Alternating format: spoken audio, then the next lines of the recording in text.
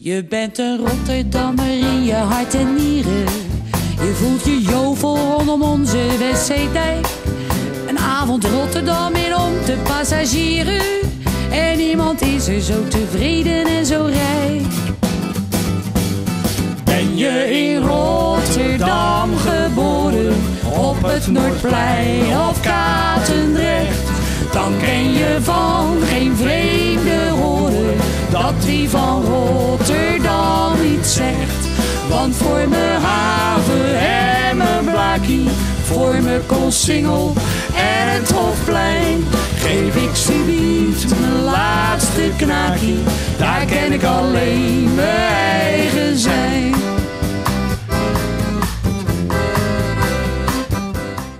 Welkom bij Simjak Pietjebel. Wij gaan naar uh, Zuiderbegraafplaats waar uh, de Feyenoord supporter begraven wordt. Alleen als ze dood zijn, hè? Alleen, alleen als ze dood zijn, ja. Ja, Nee. ze Oh, ze, niet. nee, ze hebben een, een, een speciale begraafplaats waar ze, een, uh, een, doe- een, waar ze begraven worden. Ja. Echt waar? Echt waar, eigen vak. Eigen vak.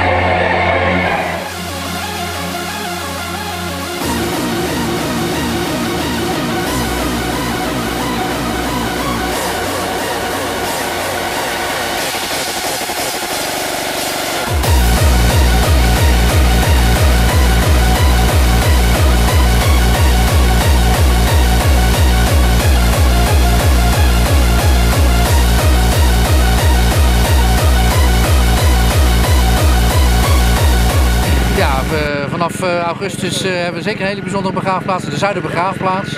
Waar eh, vanaf augustus een, een Feyenoordvak is ingericht. Waar Feyenoord supporters hun laatste rustplaats kunnen zoeken. Moet ik mij voorstellen bij zo'n begraafplaats. Het is een, een vak op de begraafplaats met eh, 31 graven en een apart strooiveld.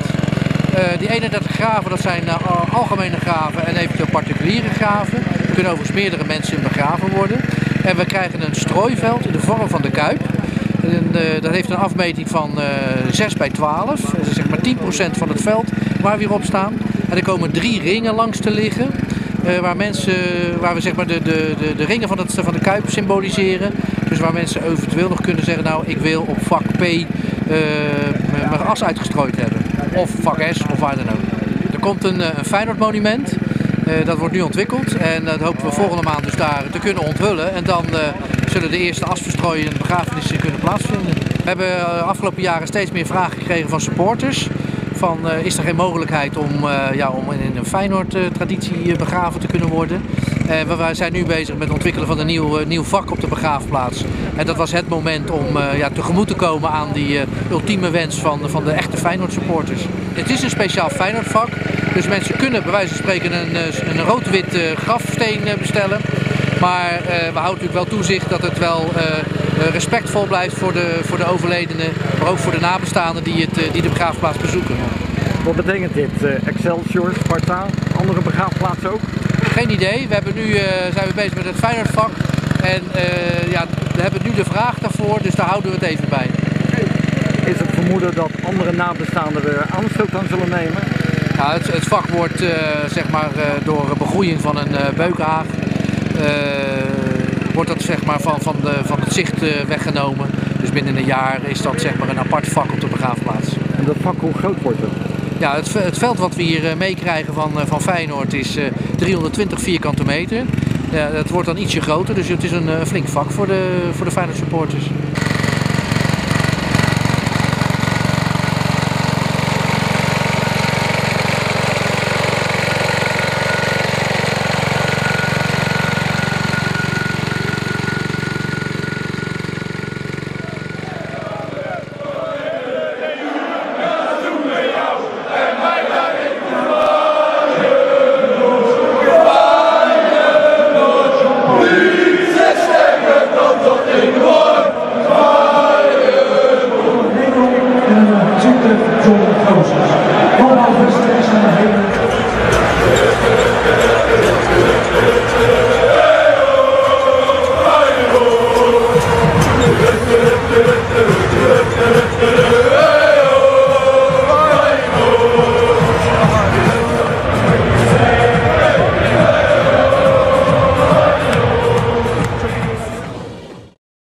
Is uh, altijd toezicht op de begraafplaats. Uh, zou dat onverhoopt mogen gebeuren? Het is natuurlijk niet respectvol voor de mensen die daar begraven worden of willen worden.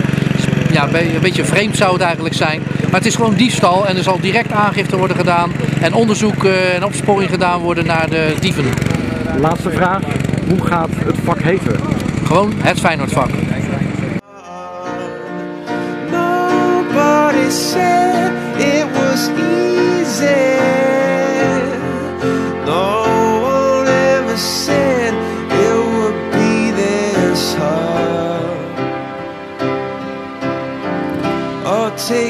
Back to the start.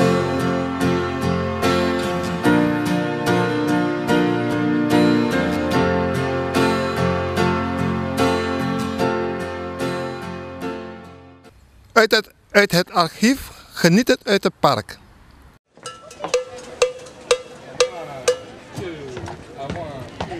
De burgemeester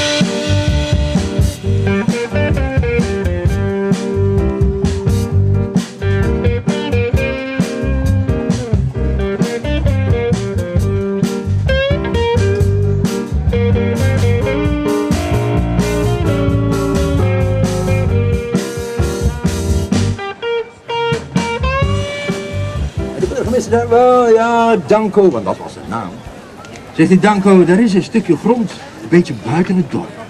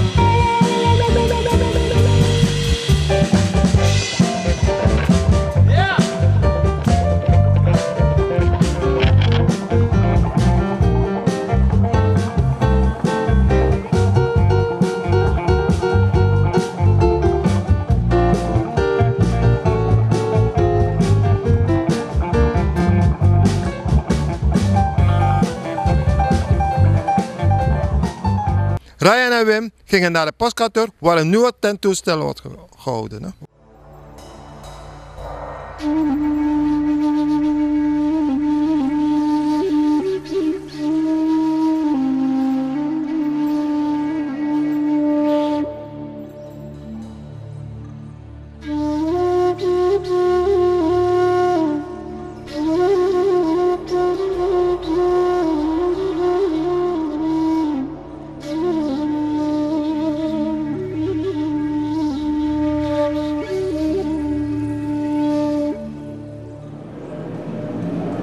Nou, volgens mij is dit het pronkstuk van, eh, van de tentoonstelling. Dit is de olifantenklok. In het lichaam van de olifant zit een waterreservoir verborgen.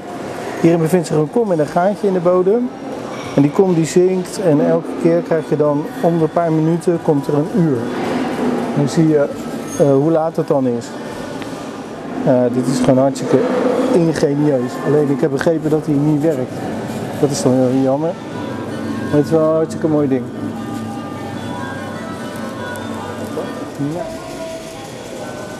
Ja, nou dit is ook heel grappig. Hier zie je de getallen van 1 tot en met 9, van 0 tot en met 9.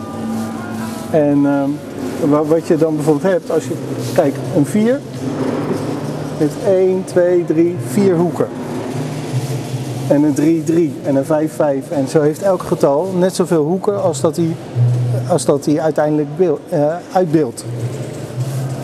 Dat vind ik grappig, ik weet ook niet waarom.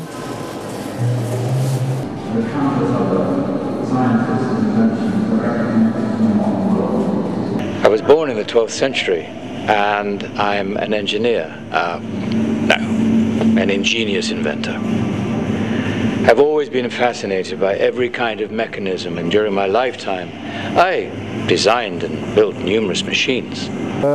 Ja, we zijn dus nu hier in die tentoonstelling van eh 1001 eh, Inventions. En mijn eerste indruk is dat het eh, heel sfeervol is en stemmig, maar ook wel een beetje klein. Gelukkig zijn er in de andere ruimte zijn er allemaal nog eh, eh, schilderijen van lokale mensen, van mensen uit Rotterdam die dan iets gemaakt hebben.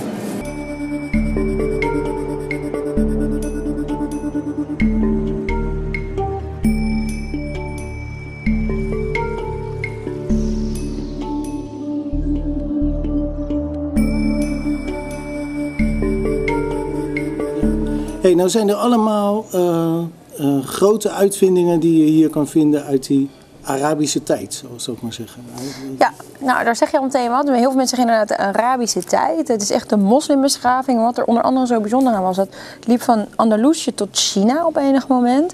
En binnen die beschaving leefden mensen van islamitische komaf, maar ook Joden, Hindoes, Perzen. Alles, geloven, culturen, mannen, vrouwen, alles werkte samen. Daarom kwamen ze natuurlijk ook tot geweldige dingen. Ja. Welke dingen vind jij bijvoorbeeld eh, geweldig? Nou, wat ik bijzonder vind is dat er allerlei medische vindingen gedaan zijn. Van bijvoorbeeld een gebroken botten zetten tot een staaroperatie zoals je hem nu zou krijgen.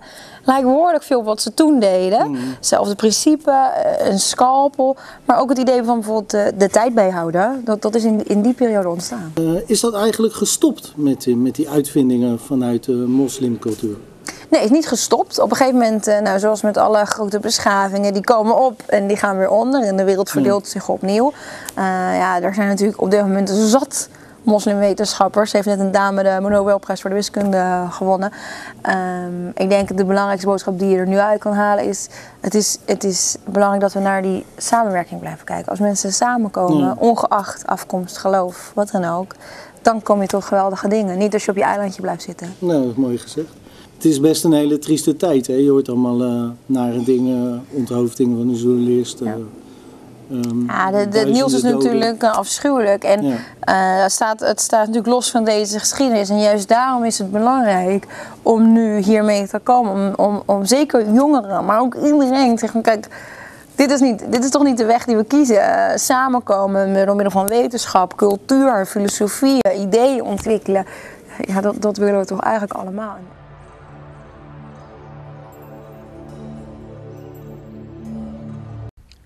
Dit was Simjak Pietjebel. Volgende week zijn wij er weer.